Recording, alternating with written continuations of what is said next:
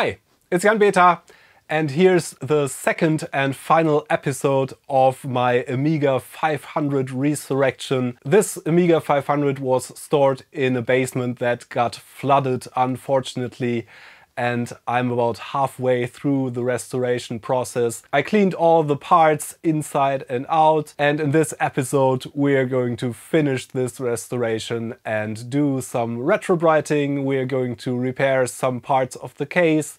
We are also going to take a look at the floppy disk drive, do a full recapping of the mainboard and some other bits and pieces and of course some testing of the finished device. Yeah, without further ado, here we go. We left off after cleaning the case parts and now they are fully dry.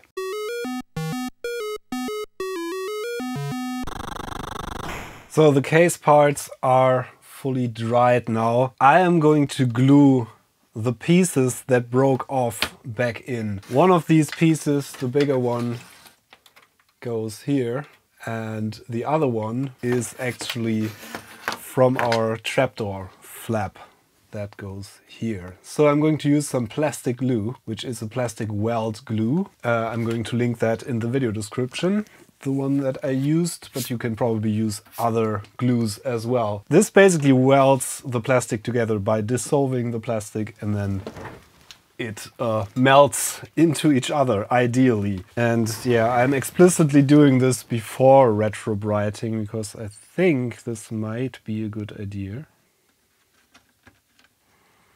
Yep, like this. So little dabs of glue. I'm using a Q-tip to apply the glue.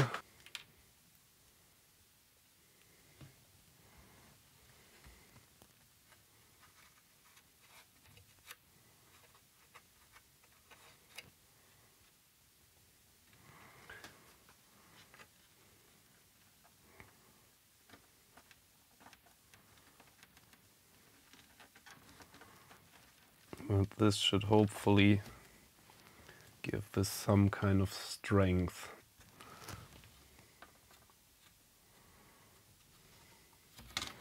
Yeah, but that doesn't look too bad actually.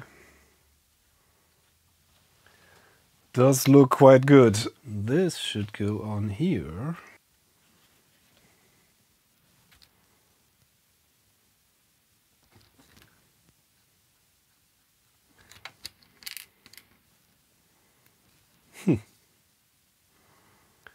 A little something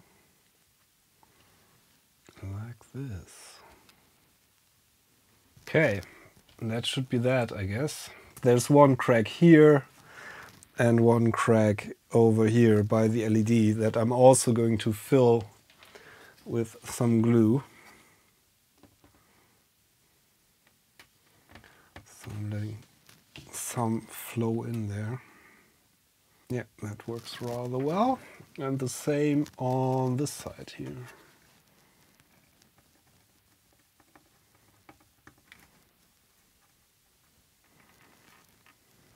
That should be all the cracks we have. And now it's just going to be a matter of letting this sit for a while and wait. We're, we're going to see how this turns out. Okay, I fixed the cracks in the case and on the trapdoor cover and I think it's time to slightly retrobright this now. I am only going to do the top half of the case because that is more yellowed. Uh, the inside is more or less the original color this should be in. And as you can see, the top half is a bit yellower than that. The bottom half, though, is pretty much the original color also around the parameter. So I'm not going to retrobright that. I'm only going to do the top part. For the case part, because it's so large and I don't have a container to completely submerge this in, I'm going to use peroxide cream that I'm going to apply with the brush and then wrap it in cling wrap, clear cling wrap that you would use in your kitchen. I actually got uh, some from my kitchen. And for the keys, I'm going to put them in a translucent container and use this liquid peroxide. And then I'm going to put a grow light on top, which is kind of a full spectrum light or It claims to be a full spectrum light meant to be used for uh, plant growth, obviously. The purpose of that is to speed up the chemical reaction that is a bleaching reaction there's a very good video that Jeff Bird made a while back. I'm going to link that in the video description and in the info box uh, if you want to check that out about how retrobrighting actually works. Retrobrighting is a bleaching process, so you can actually uh, get discoloration if you're not careful. Uh, usually with my method, it's pretty slow. It takes a couple of hours but usually I get pretty nice results with it. Let's see if it works on this one. So I'm going to apply a thin layer of hydrogen peroxide. This is 12%, uh, that's the highest percentage I can get here in Germany. Yeah, then wrap it in cling wrap and put it in my retrobrighting box as you're going to see, which is just a cardboard box covered in aluminum foil from the inside to reflect the grow light light. That's the plan let's do that. I'm also going to put these smaller parts in there. And as I said, the keys are going to go into some liquid peroxide, which is also 12%. I'm going to wear gloves for this operation and I'm going to go in every half hour and massage the cream on this part of the case around a bit so I don't get discoloration like marbling effects or uh, streaking or something like that. I'm going to be super careful with this because it is brittle plastic. Usually retrobrighting doesn't make it any more brittle in my experience because it's just uh, affecting the surface. Your mileage may vary. So yeah, let's do it. I'm putting some cling wrap on the surface here. The cling wrap is only so that the cream doesn't evaporate, which would lead to discolorations. Trying to spread this out as evenly as I can, and I'm going to apply a layer of hydrogen peroxide to the foil, actually, which in my experience helps. I'm also going to apply some to the actual case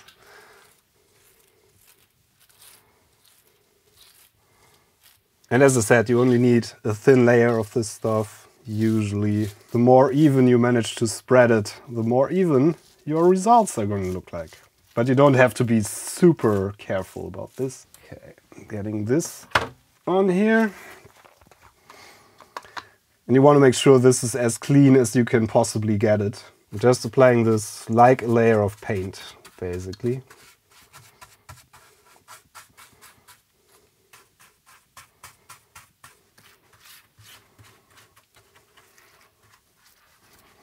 I'm not going to put anything on the insides, just on the perimeter here.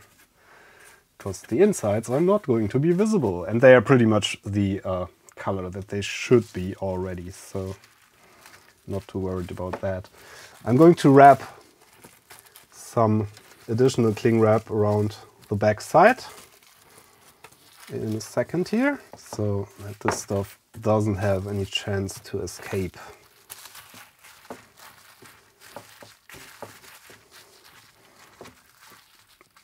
And there we go. And that's our top half of the case. That's going to go into my retrobrighting box like this. For these smaller parts, obviously we need cling wrap as well. I'm going to do the same process basically.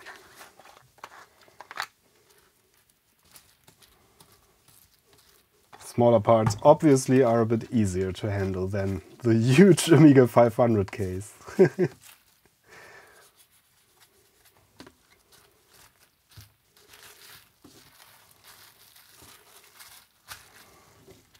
That's that one wrapped. Just in case you were wondering, uh, you could do this in sunlight, but today it's pretty cloudy again. There aren't many opportunities to do this in the northern part of Germany where I am located, even if it's summer or it's supposed to be summer. So, all wrapped. I'm going to put this stuff into my retrobrighting box. So I got my case parts in my retrobrighting box that can use a makeover and I'm going to use this container to put the keys inside. I am going to remove the sticker on the spacebar though.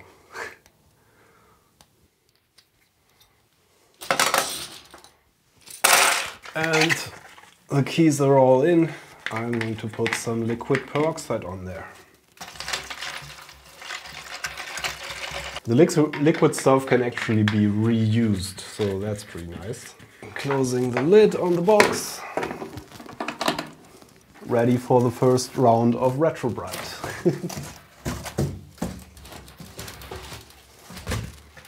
I'm putting my grow light on top here and I'm going to let it sit for half an hour.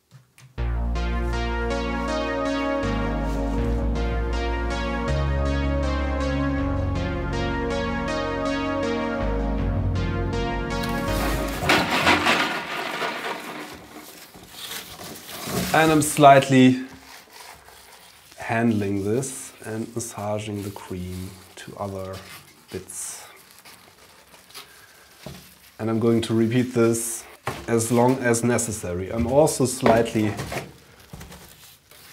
putting these into different positions.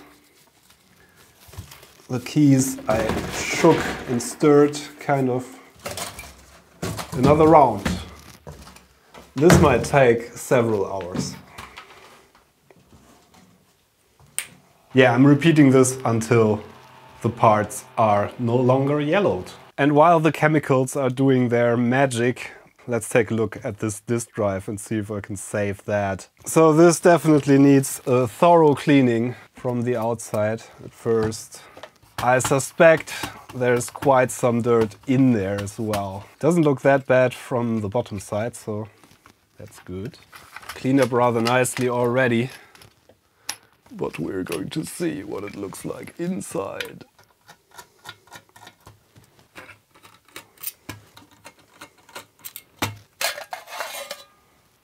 Okay, there's a lot of dust in there, but we can remove that. I'm going to use uh, a lot of Q-tips and some isopropanol and clean this some rust spots there that we can remove probably, hopefully. But it does look in better condition than I thought. So let's clean this up. So I'm just cleaning the dirtiest parts first. But most of it is dust actually, that's good. Eh, it's not good that there's dust in there, but it's good that there's nothing else in there. No mud. Yeah, a little mud maybe. Yeah, this uh, might take a while. Okay, Houston, we have a problem. Uh, this here in my hand is one of the read-write heads. There's two of them on this holder here, one on top and one on the bottom. And one of them, uh, or at least this is the cover for them, there's actually spools in there. You can maybe see them in there. Uh, one of them just came off and I think, if I see it correctly, the spools also got dislocated. So um, might be time to give up on this one. This is normally, of course, this is glued in, so yeah, this is completely damaged. The, the coil, yeah, that came off. I'm not sure what happened to this. Maybe it was broken before. These are the read-write heads. This drive is now officially dead. So there's no way to fix that unless you have a replacement head and some very good patience to realign that. Bummer! So there goes our disk drive. It looked pretty good. And I don't think I ripped the head off with my cleaning because I was aware that there are heads underneath there. So yeah, I don't know what happened. So this is missing a head. I'm sorry, little drive. There's no point in cleaning you any further. Maybe I can use this for spares at some point. There's my sad little note. Sorry little drive. The disk drive cable's cleaned up pretty nicely though. There's a slight hint of dust still on there, but other than that, these look as good as new. So I'm definitely going to reuse these. Time to do some work on these keyboard parts. I think I want to kind of soak these springs in alcohol at first and then slightly scrub them. And then I'm probably going to give them some WD-40 after that. Some of them there's a bit of rust and dirt, but uh, most of these look pretty pristine. So I'm just going to give these a little spray down with WD-40. And then after that, these are going to be polished slightly. I want to give them a bit of a soak in that stuff so they don't corrode any further. I guess we can put the rest of the keyboard back together at this point. So the plastic part from the keyboard that was rather filthy turned out pretty nicely after some work uh, submerging this in soapy water and then working on it for a bit more with the toothbrush and uh, some q-tips. This looks rather nice now, again. I think I want to give these plungers a little wipe with alcohol and then put them back in here.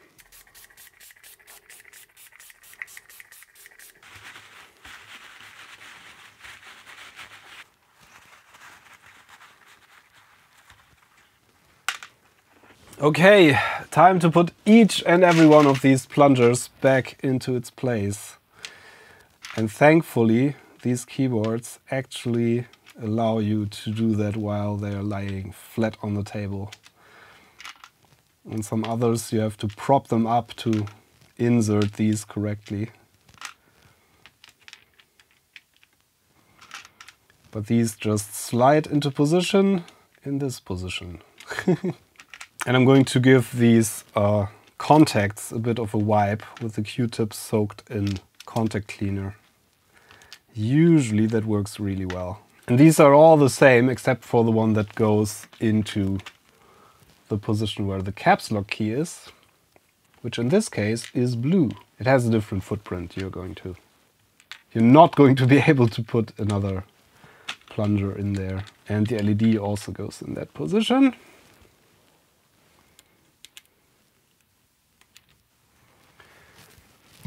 So here's where the LED with the contacts, it actually has carbon contacts as well, as I mentioned. That goes there, and this is our one different plunger. Hooray! Now I'm going to soak a Q-tip in some contact cleaner and just give each of these contacts a tiny little wipe down. That's going to take a while. So at this stage, I think we can put this back together, at least this part. The keycaps are still retrobrighting. But we should be able to place our membrane on here and our metal part. And then get some screws back in there. This should now be safe to turn around. and insert our circuit board.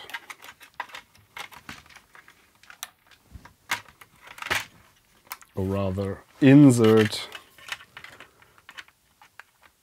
the membrane back into our circuit board here.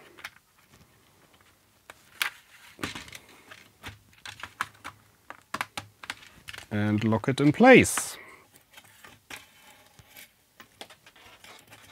And there's one screw on the circuit board that has some grounding pads on it. And that's the larger screw with a kind of a washer built in. So that should be that one. And this should go on here like so. So let's put all the screws back in.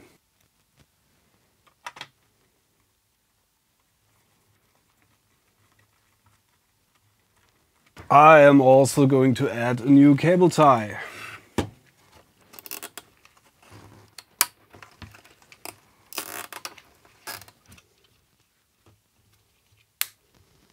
And that's our whole keyboard assembly back together, minus the keycaps and the springs, obviously, and the little clips. The springs and the clips are going to be cleaned don't want that much WD-40 on there. Just a little. also WD-40 smells good. yeah, it's going to be fun taking these apart. So the case is pretty much finished retrobrighting and I gave the key caps a couple more rounds and I think they need one more even in this container which is this bubble wrap that has a layer of aluminum on it. So yeah I'm just stirring this every half hour. And there's some keys that still have some yellow on them. Not sure if I can bring these back to their original color completely but this is the way I do it. The case parts only took like four hours in the retrobrighting box, but the keycaps are severely more yellowed, so they take a bit more time. Just for the sake of this being a full restoration, I decided to recap this board. That means I'm going to replace all the electrolytic capacitors on here with new good brand ones. That is something that is not strictly necessary on these Amigas. Usually, usually the capacitors are good on these boards, but it doesn't hurt to replace like 35 plus years old capacitors. So I'm going to do it just to make this a full restoration. I'm going to go one by one to not mix up the polarities or the values that these have. I'm using the same capacitance to replace the original ones. I'm using the same voltage ratings and maybe some higher voltage ratings, but only ever so slightly because otherwise, if you go too high voltage, the capacitor behavior is going to change a bit.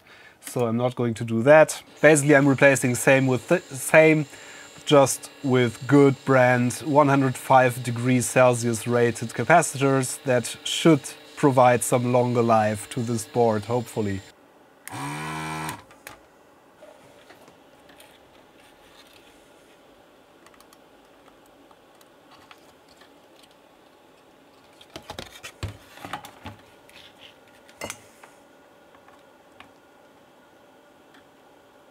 Everything's recapped, I mostly used Panasonic FC series capacitors. Usually they work really well for vintage computers.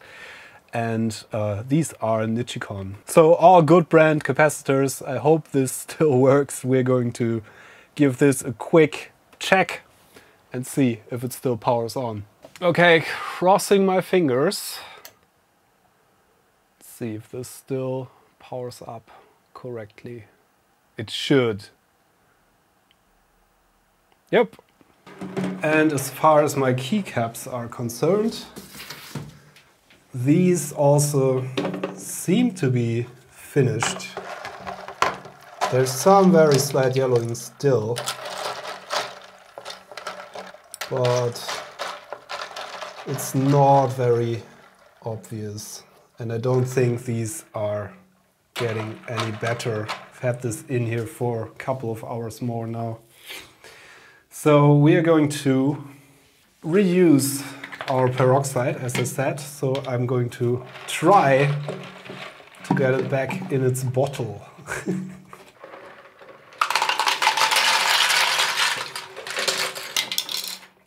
and these keycaps are going to get a good wash. Water is completely sufficient for that.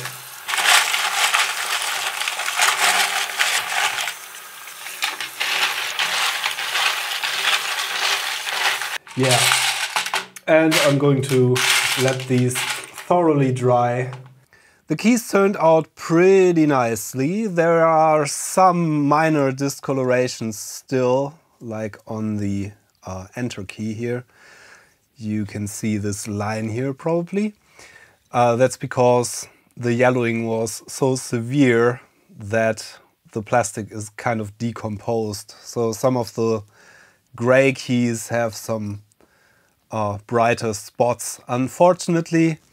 But most of the brighter keys, which are kind of an off-white beigeish color originally, They do look kind of original again. So I'm going to put these on the keyboard and see how it looks when it's back together. This is going to take a while and I'm going to try to get every key in the correct position and for that purpose I have my spares keyboard here which is super dirty and super yellow uh, to, just to see where the keys go. And we're going to put a spring on here and we're going to put the retaining clips back in of course and we should have a keyboard after that, hopefully. And hopefully it still works, I don't know yet. Now for the spacebar, there's actually two different size screws. These are slightly smaller than the other ones, smaller diameter. And the spacebar has obviously this long clip here. That can be a bit fiddly.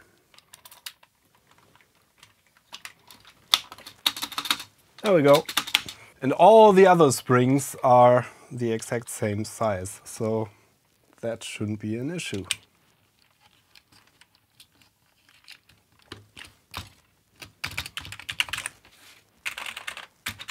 And I have to say, retrobrighting feels kind of magic. Sometimes. This looks nearly as good as new. For my next trick, I'm going to put the circuit board back into this RF shield which I tried to remove more of the rust on with some vinegar and some aluminum foil, which usually works pretty well. It's not perfect. I guess it's better than before. Remember to put this sheet back in here to insulate the circuit board from the metal. And then the circuit board goes on top. And obviously we have to screw this in again. Also slightly overlaps down here so it's not quite clipped in, but it overlaps. So I'm going to put all these screws back in. I'm not going to bore you with that, I guess. and then I'm going to put this into the case. So all the screws on the backside are back in. I'm going to put it in the bottom case, which we didn't do any retrobrighting on, but it looked kind of its original color, so Not too worried about that. This clips in this spot here, which usually is broken off. I wonder why this is intact on this case. Maybe the circuit board never left the case before. So, and I actually found a disk drive that doesn't have broken written on it, which is the exact same model as this one. So I hope it works. Not quite sure where this came from, but uh, it was in my parts bin. So I'm going to put it in here and uh, screw it in. But I'm not fitting the screws from the bottom yet. I want to test this before I do any further assembly. So, okay, this should be in place. I want to put the keyboard in to be able to properly test this. Does look pretty nice. I mean, there, there are some rust stains and things like that, but all in all, does look rather nice. We have to bend these tabs. I'm not sure if I want to put the top part of the RF shield back in. It's not really necessary for operation. At first let me test this in this state. So let's try to turn this on. And it has a red power LED, we didn't see that yet. That's a nice one. And that was really quick. And the drive is ticking. So maybe we have a working Amiga. I'm going to try the Amiga test kit. That is a very good tool for testing Amigas, as the name suggests. Let's see if that starts up. It does! Yay! Yeah, so this basically allows me to check all the functions of the Amiga. Let's start with the memory test. I don't have the memory expansion in here yet. We are going to test the memory that's on board. That's looking good. I think the memory is good in this one. That's a good start. Uh, the keyboard. So far, it did work. I'm going to try to press each of the keys. seems it's working and it looks pretty nice as well. Okay, keyboard is alright. Let's test the audio. Yup. That is all working. Sound is working perfectly fine. Video is working fine, probably. Yep. CIAs are always a thing that fails. Let's see. All tests passed. Okay. So yeah, this basic Amiga seems to be perfectly working. That's great. Yeah, this seems to work fine. So uh, I guess let's try the memory expansion in there. I'm going to put the remaining screws uh, for the disk drive in at this point because that seems to work fine. I'm also going to close the side expansion slot which turned out the same color as the rest, which is nice. After retrobrighting, that is. I think I don't want to put the top RF shield in here because usually without the RF shield cooling is a bit better. Obviously because there's more airflow. So I'm just going to screw this back in place, I guess. Oh, there's this little bezel that goes on top of the expansion port here. That obviously has to go back on. So that's our circuit board in place. So uh, I'm not going to put this memory expansion switch back in here because there's just so few games or software titles that don't work with a 512k memory expansion. Instead, this should be permanently activated by just putting a little jumper on this J2 position here. I think it's activated in this position. We're going, if, if it's not activated, we're going to remove that, obviously. I'm going to put that in now. So this should be relatively easy with the case opened. Usually you have to put these in from the bottom. I have to do the same because this just fits on these plastic rails that are on here. And then it should plug into this connector which it does. But it doesn't go all the way in because this connector is the wrong size. Ah, cheap memory expansion, I guess. But in theory, if the memory expansion works, this should now be a 1 megabyte RAM Amiga 500. It still starts up, which is a good sign. Maybe the memory expansion works as well. 1 megabyte total memory detected. Seems to be good. I'm going to keep this running for a while to see if it really is good. I'm going to take a short break and I'll come back with the results. Yeah, and as you can see, this seems to be fully working. I think we can close the case now, literally. So here it goes. I actually strengthened some of those cracked parts with some epoxy. Hope this is going to hold together. But it looks, as you can see, it looks uh, pretty much as good as new. And also the glued parts, this is a bit visible here, got a bit scratched, but it's basically in very good condition again. So pretty happy how this turned out. Okay, let's put those screws back in. Not going to tighten these too much because uh, I know for a fact that this case is super brittle. And it is done! Okay, let's have some fun.